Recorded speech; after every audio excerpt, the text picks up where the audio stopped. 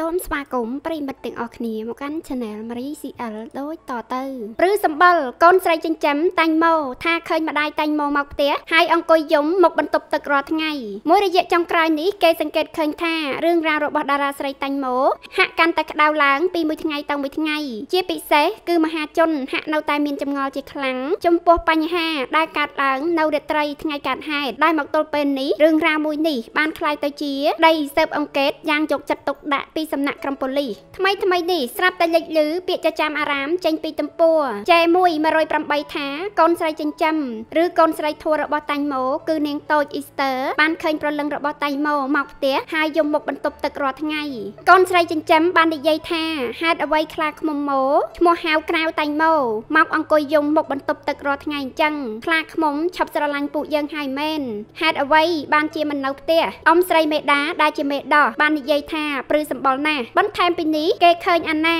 ដែលជាមិត្តស្និទ្ធស្នាលរបស់តាញ់ម៉ូបានចូលខមមិនលើផុសនោះថាហើយដឹងដោយរបៀបម៉េចគូបញ្ជាក់ឲ្យដឹងថាអ៊ីស្ទ័រជាកូនស្រីបង្កើតរបស់កាតិចដែលតាញ់ម៉ូចិញ្ចឹមមើលថែនិងស្រឡាញ់ដូចកូនបង្កើតហើយព្យាយាមសន្សំលុយគ្រប់យ៉ាងដើម្បីបញ្ជូននាងទៅរៀននៅសាលាល្អបច្ចុប្បន្ននាងមានអាយុ75ឆ្នាំហើយ